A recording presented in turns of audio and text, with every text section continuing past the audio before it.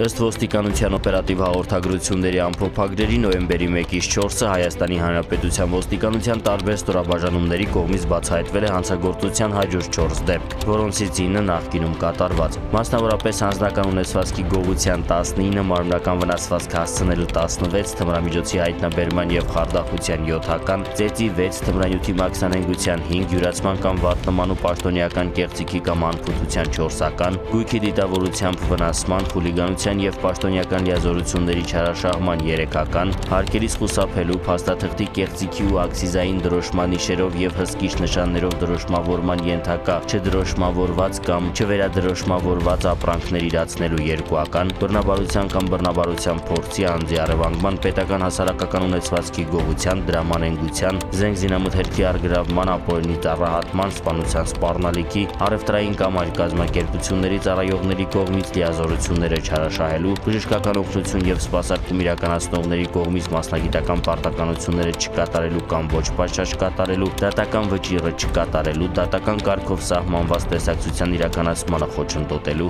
առանց իրացնելու նպատակի թմրամիջոցների կամ հոգեմետ նյութերի ապօրինի շրջանառության մեկական դեպք։ Հայտնաբերվել է 4 անհետ կորած 10 հետախուզվող կամավոր ներկայացել է մեկը։ Գրանցվել է զենգզինամթերքի կամավոր հանձնման 8 դեպք։ Նախկինում կատարված հանցագործություններից բացահայտվել անձնական ունեցվածքի գողության 7 հավազակային հարձակման եւ ավտոմեքենա փախցնելու մեկական դեպք։